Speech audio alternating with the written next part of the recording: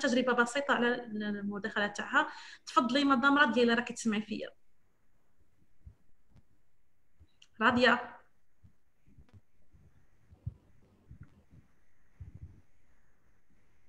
راضيه معنا ولا لا؟ لا كتشوفوا فيها وي مي قولي دير الميوت. نحي الميوت. آه. آه. راضيه نحي إلا تسمعي فيها نحي الصوت.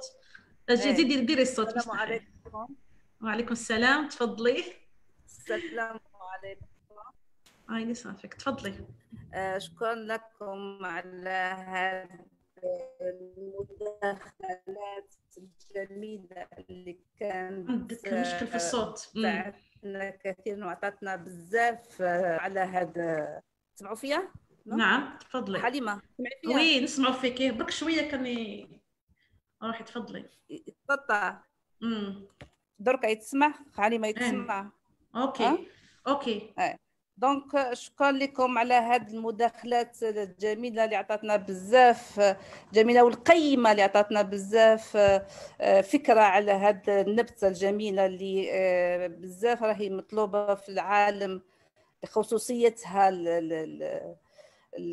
الخصوصيه تاعها اللي تتفرق على باقي الحبوب دونك نشكر جميع المتدخلين نشكر جميع نشكر الأستاذة ماريا ولا المتدخلة ماريا اللي اعطتنا قيمة بزاف هذا النبات الكينوا اللي هو عنده بزاف قديم بزاف اللي عنده 5000 سنة وبالتالي يعني هي حاجة قيمة جدا على هذه سميت ب لاغران دور.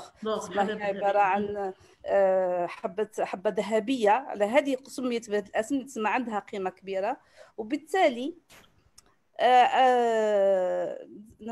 بالتالي نقدروا عطاتنا افاق باه نقدروا نكملوا في هذا العمل وباه بور فالوريزي هاد لا بلانت بون moi je me présente je suis madame Boucher Bradia je travaille je suis enseignante chercheur à l'université frère Montori Constantine euh, qui se situe euh, à l'est à nord-est de, de l'Algérie donc euh, no, notre thème avec notre doctorant on a travaillé sur cette année, c'est un début de travail, donc pas comme les autres. Euh, donc, euh, c'est un travail, c'est un, début de travail, mais on a eu de, quelques résultats pour les partager avec vous, en même temps pour voir la différence entre les sites et les, données climatiques entre les régions. Bon, notre thème s'intitule Culture de quelques génotypes de quinoa dans une zone semi-aride en Algérie, c'est la zone de Constantine. Notre, la problématique, c'est la généralisation. Partagez, Rabia. Partagez la communication. Partagez la communication. ما partagez مازال Voilà. Allez partager maintenant. مازال Attendez. Voilà. Normalement, les partages. Ok. Ok. Voilà. Donc, c'est bon. Mm, oui. Donc, la, la, la, la problématique est ainsi, c'est la généralisation de la culture du quinoa introduite, introduite en Algérie en 2014 pour un titre de projet entre le ministère de l'Agriculture et euh, l'organisation de la FAO pour générer les revenus supplémentaires aux cultivateurs locaux surtout, parce qu'on se concentre beaucoup sur le blé et l'orge, et, euh, le quinoa, elle est, euh, elle est négligée par rapport aux cultivateurs et les agronomes. Donc, c'est pour ça qu'ils ont intégré cette plante pour augmenter ou contribuer à la sécurité alimentaire et la réduction des euh, factures importantes des blés. C'est pour ça qu'ils ont introduit cette plante. Donc, pour notre euh, région, c'est des conditions concernant les régions semi-arides, c'est des conditions climatiques défavorables de la région. Le fort ensoleillement et la, faible pluviométrie ont obligé des agriculteurs de, de, semer des plantes adaptées au climat et et améliorer l'agriculture et pour générer aussi des revenus supplémentaires pour les cultivateurs, surtout les cultivateurs locaux qui n'ont qui ont pas beaucoup de moyens pour faire des grandes cultures. Donc, réputée, cette, la, la quinoa réputée par sa capacité de résistance face aux conditions climatiques extrêmes, sécheresse, gel, salinité, etc. Donc, elle, se développe normale dans des milieux arides. Elle n'a pas besoin, elle, demande pas beaucoup d'eau, elle demande pas beaucoup de conditions euh, édaphiques pour, se, pour croître. Donc, elle est principalement cultivée et elle est principalement cultivée dans ces milieux et aussi elle est cultivée pour la consommation de sa graine, de ses graines, qui sont souvent confondues avec celles des céréales. Donc, donner je vais donner un petit peu une idée de cette graine que tout le monde la connaît, mais pour donner un, pour un petit peu élargir ma communication. Donc, c'est une graine qui a attiré euh, beaucoup d'attention par rapport à sa qualité et sa valeur nutritionnelle. C'est l'un des aliments les plus sains au monde qui se trouve au monde. Elle est, parce qu'elle est très riche en, acides aminés, surtout la lysine. Donc, elle est une protéine, elle, contient une protéine complète. Elle est sans gluten. Donc, c'est un, une nourriture très importante pour les malades cœliaques, aussi pour les gens qui sont allergiques au blé, au gluten. Donc, euh, elle a une qualité aussi très importante, c'est la fraction d'huile des graines qui est très demandée euh, euh, mondialement et de, de haute qualité nutritive. Donc l'huile de la graine aussi, c'est un créneau à part à exploiter. Aussi, elle est très riche en sels minéraux tels que le fer, le zinc. Le zinc, d'ailleurs, il est demandé maintenant parce que par le Covid, tout le monde demande de zinc, donc c'est un, une source de zinc. Euh, magnésium, beaucoup de vitamines E et B. Elle a aussi euh, d'autres bénéfices sur la santé métabolique et très riche en antioxydants. La saponine, c'est un, euh, un, créneau à part à développer, mais la saponine, elle se trouve pour protéger la graine. C'est pour ça, euh, Donc, notre programme va atteler à contrôler les différents comportements de la plante dans les conditions climatiques de la région de Constantine. Je tiens à dire euh, que les conditions climatiques à Constantine sont des, conditions euh, sèches, plutôt sèches. Donc, dans la, pluviosité, elle varie entre 200 à 800 millilitres par, euh, par an euh, la, grande partie est concentrée dans la saison de l'hiver, généralement Fshta. Fshta, a besoin de précipitations. Par contre, le saif, l'été, il est très sec. Donc, euh, euh, il y a une grande chaleur, il n'y a, pas d'eau. Donc, c'est pour ça, cette plante, elle, nous a attirés pour la semer et pour nous donner un rendement mieux que semer d'autres. Euh, généralement, le blé, on est reconnu pour le blé, la région de Constantine, mais on a essayé cette année de faire euh, semer cette plante pour voir qu'est-ce qu'elle va donner dans notre région. C'est la région euh, est de l'Algérie. Donc, pour notre objectif pour cette année, je tiens à redire une autre fois que c'est un, un, début de travail, c'est une première année pour nous, donc on n'a pas beaucoup de résultats, mais on a eu des résultats quand même non terminés à cause de la pandémie. Donc l'objectif de cette étude est d'aboutir à des principes d'une agriculture contemporaine, de la de la nouveau contexte économique en introduisant, des nouvelles espèces adaptées au climat semi-aride, et surtout pour pouvoir contrôler la, plante de, des quinoa de comportement du quinoa dans notre donnée climatique, améliorer sa performance agronomique, c'est-à-dire pour avoir un, rendement par rapport de quelle variété elle va nous donner un rendement mieux dans notre région, aussi pour aboutir à une vue très claire dans le choix de cet aliment et de trouver une garantie technologique des semences, des semences utilisées. Bien sûr, la qualité technologique de la semence, elle est très, très importantes pour les agriculteurs ou pour les consommateurs. Donc, notre plan expérimental a été mené sur six variétés euh, de, quinoa de différentes sources. Bien sûr, euh, je tiens à remercier Madame Halima qui nous a aidé beaucoup pour la graine, pour la semence, parce qu'on n'avait pas une source de, de, semences. Donc, elle nous a aidé beaucoup euh, pour nous donner la semence. Aussi, euh, euh, pour ses conseils aussi, parce que moi, je ne connais pas beaucoup sur les techniques agricoles de cette plante. Donc, et le lieu d'expérience, on a fait cette expérience dans l'Institut technique des grandes cultures, c'est l'ITGC. Il est situé toujours à Constantine, c'est un institut euh, qui se trouve euh, dans une région qui s'appelle Khroub, euh, à côté de, l'université de Constantine. Donc, c'est le plan, c'est notre, notre lieu d'expérience pour cette année. Bon, pour notre travail de cette année, on a fait, on a travaillé sur la phénologie de la plante parce qu'on ne connaît pas beaucoup sur la plante. C'est la phénologie surtout des génotypes, des variétés. Et on a travaillé sur la morphologie des variétés pour bien comprendre ou pour bien connaître la plante, surtout. C'est surtout, c'est notre, notre but pour cette année. Donc, تعرفنا على النبتة تعرفنا على مدة الإزهار تاعها مدة آه، اللي تعطينا تظهر فيها البانيكول قداه طولها قداه قداه دير الوقت الزمن تاعها دونك هادو كامل باه تعرفنا سنا هذا العام على النبتة تاعنا وعلى ديفيرون فاريتي كون ترافايي سور Donc, c'est pourquoi on a fait la phénologie.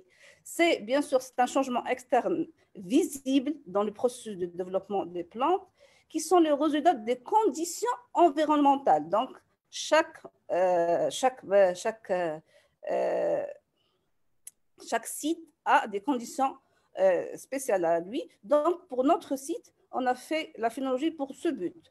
Dans le suivi, une tâche très importante pour les agronomes, surtout les agriculteurs, et il servira justement pour un futur programme. Est-ce que l'année prochaine, on va irriguer surtout pour voir est-ce qu'elle est sensible aux maladies. C'est par rapport aux variétés, entre variétés.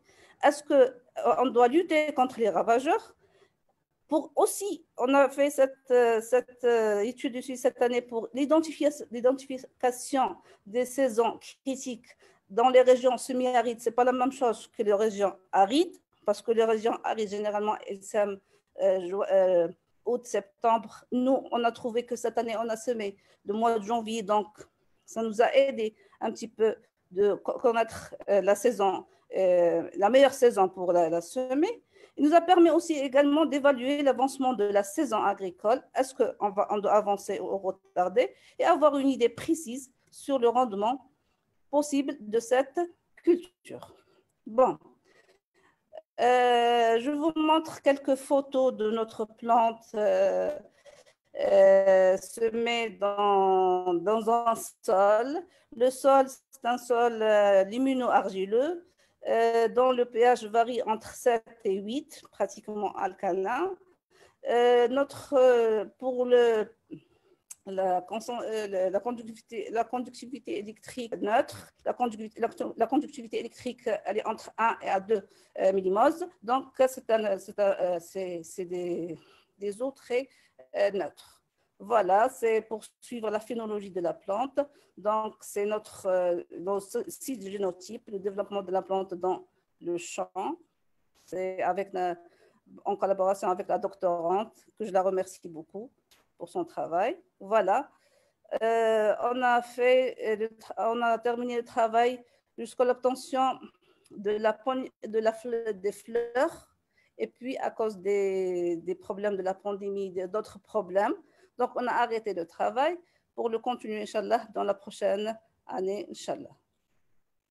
Bon, pour nos résultats, pour nos résultats, concernant les paramètres phonologiques, nous, on a trouvé, euh, pour cette année, hein, je dis pour cette année, on a trouvé des résultats différents par rapport à la région aride. Donc, on a trouvé que le, génotype Blanca de Juna et le génotype Amarilla Sakaka sont des génotypes, euh, des génotypes précoces. Précoces par rapport, à la, euh, par rapport au génotype euh, Q26, je crois. Voilà. Donc, sont des, des, des, des, variétés précoces, soit pour la ramification, soit pour la formation des panicules ou pour la floraison. Euh, par rapport à les autres types, donc euh, concernant la, variété Q25, donc c'est une variété tardive d'après nos résultats. Aussi, on a travaillé sur la morphologie de la plante, généralement pour avoir une, les, euh, pour constater l'habitude de la plante, pour avoir une idée sur la hauteur de la plante, les formes de l'inflorescence, la feuille, le fruit. Donc, c'est des caractères pour, on a fait euh, c'est des caractères pour différencier les variétés entre elles et voir la variabilité de chaque espèce, ou de chaque variété ou génotype. Donc, pour nos résultats, on a travaillé, on a vu, on a, généralement, on a fait pour le, côté euh, morphologique, on a travaillé sur la hauteur de la plante. Donc, on a travaillé que, euh, on a vu, on a, on a observé que la variété Zizia et Blanca de Juna, toujours, sont des plantes hautes par rapport à la plante toujours Q25, la variété Q25. Donc, euh, la, hauteur, c'est une qualité pour pour, euh, pour améliorer généralement le rendement. Et on va voir l'année prochaine, Inch'Allah, concernant le rendement. Donc, c'est ça euh, notre, nos résultats qu'on a eus. Donc, c'est des paramètres morphologiques et phénologiques. En conclusion, nos résultats ont montré pour cette année une, variabilité entre les génotypes et les deux variétés, Amarilla sakaka et Blanca de Juna, on, les a trouvées que c'est des variétés précoces et supérieure, ça veut dire haute par rapport aux autres euh, variétés. C'est une première ou un début de travail, donc on va la confirmer ou le confirmer, euh, pour les prochaines années. Donc, euh, j'espère que j'étais bref, mais je n'ai pas euh, trop. Je vous remercie beaucoup, Madame Halima, tous les intervenants, tous les participants et j'espère que je vous ai, j'ai donné un petit peu une idée sur notre travail. Merci bien.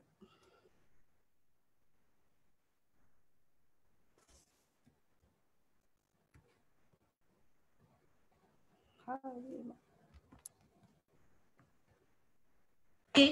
آه، آه، الصحة مدام راضية على هذه المداخلة. آه، مدام راضية قدمت لنا ملخص تجربة نتاع هذا العام في قسنطينة جربت ستة أنواع جابتهم من المعهد التقني الزراعة الصحراوية وكما نشوفوا مبدئيا راني نشوف انه اللي لقيتهم هي ترضيف حنا لقيناهم بريكوس ولقيتهم هي بريكوس حنا لقيتهم ترضيف. هذا يبين من هذا بعد يبين اختلاف بين المناطق في الجزائر هذا قد قد يكون عامل إيجابي ولازمنا إحنا نكثفوا من تجارب الكينوا يعني في الشمال وفي الجنوب حتى نلقوا الأصناف اللي تعطي مردود أحسن إن شاء الله في المستقبل وهذا من تكاثف الجامع خلال اتفاق من خلال اتفاقيات الجامعات المختلفة مع المعهد وكما يعني حاليا المعهد دار, دار اتفاقيات اتفاقات اتفاقيات مع عدة جامعات جامعة مستغانم جامعة بسكرة جامعة ورقلة جامعة الواد وجامعة أيضا جامعة المعهد التكنولوجي نظن في في الجزائر. إن شاء الله راح يكون نتائج إن شاء الله في المستقبل أحسن وأكثر. آه، نمروا لخاتمتها مسك. كل رانا نحوسوا على الكينوا ونخدموا على الكينوا والأبحاث كلها على الكينوا هي من أجل أنه ناكلوها من أجل الاستهلاك. واليوم العالمي هو اليوم العالمي للاستهلاك. قبل ما يكون اليوم العالمي للاستهلاك وإنتاج الكينوا كان اسمه فقط اليوم العالمي للاستهلاك نتاع الكينوا. الناس كلها يتحوس تستهلك الكينوا. كيفاش نستهلكوا الكينوا؟ وكيفاش نطيبوها وهذه من خلال المحاضرة للإنسان اللي تعرفنا عليه يعني يعني نتشرف أني تعرفت عليه في اليوم في العام الماضي من خلال الاحتفال الأول باليوم العالمي لاستهلاك الكينوا السيد رضا غالية اللي عاوننا بزاف من خلال من من الاطباق اللي قدمها لنا ويعني كان فيه أعطى أعطى أعطى واحد البعد كبير اليوم العالمي لاستهلاك الكينوا العام الماضي. أبين هذا العام إلا أن يشاركنا في هذه المداخلات أيضا من خلال مداخلته اللي اسمها آه، الكنوة في المطبخ الجزائري.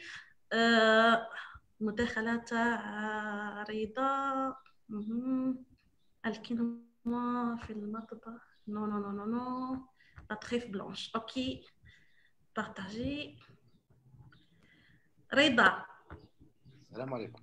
آه لا لا لا الكينو هذه كينو في الجزائر. مم. وعليكم السلام. نشرح في التقديم أوكي.